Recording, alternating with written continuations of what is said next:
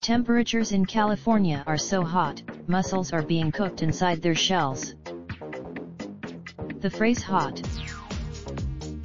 In June, temperatures at Bodega Bay in Northern California reached in excess of 100 degrees Fahrenheit. That was hot enough, the mussels firmly stuck to coastal rocks, where they feed on plankton floating in the sea water are exposed at low tides to the scorching sun. According to a research about scores.